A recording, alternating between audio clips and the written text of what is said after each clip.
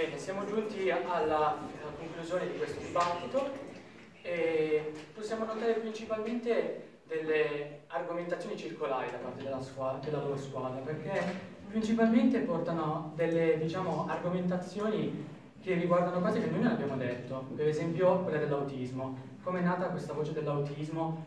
Secondo me loro nemmeno lo sanno, probabilmente per dirlo, perché così hanno detto, tanto perché girava la voce. Però l'autismo come è nato? La correlazione fra vaccino e autismo?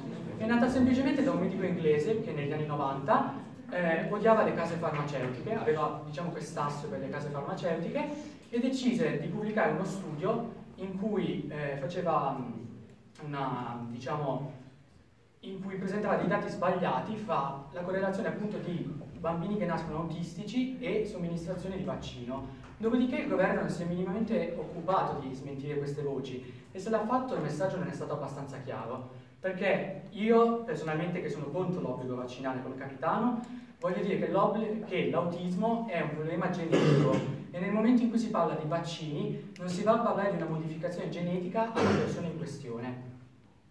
Poi bisogna anche parlare di come la legge sia inefficace, visto che copre i bambini dagli 0 o comunque i ragazzi fino ai 16 anni e eh, comunque se si paga la multa si può continuare ad andare a scuola se si ha un'età maggiore dei 6 anni e quindi l'obbligo decade e sembra quasi che lo Stato voglia guadagnare da questo diciamo, da quest'obbligo. Poi bisogna anche notare come loro ci hanno detto che noi abbiamo parlato di una sorta di guadagno, eh, un guadagno di cui noi sinceramente non, non, non ne abbiamo parlato perché certo il vaccino è un servizio, loro anche hanno detto che si limita alla comunità, però nel momento in cui io devo somministrare un vaccino, già di principio sto, li, sto limitando la mia libertà e quindi è una contraddizione.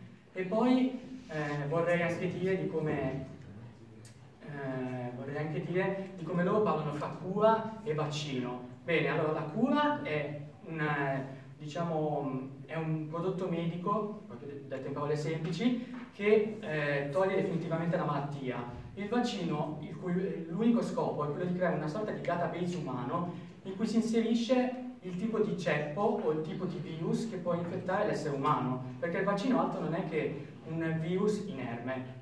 Quindi nel momento in cui si eh, dice cura e vaccino, il vaccino è solo una prevenzione. E anche dire che il vaccino è un servizio non è veramente così, perché se noi prendiamo per esempio il caso del tetano, il tetano rientra nei vaccini obbligatori, però eh, colpisce solo il singolo, non, può, non è contagioso. E quindi se io ho una reazione avversa per il tetano, rimane, io ho una reazione avversa ed è pericoloso. Vorrei concludere il mio discorso con una frase dello scienziato Tesla che disse un atto anticonformista in una società piena di, di conformisti è un segno di intelligenza.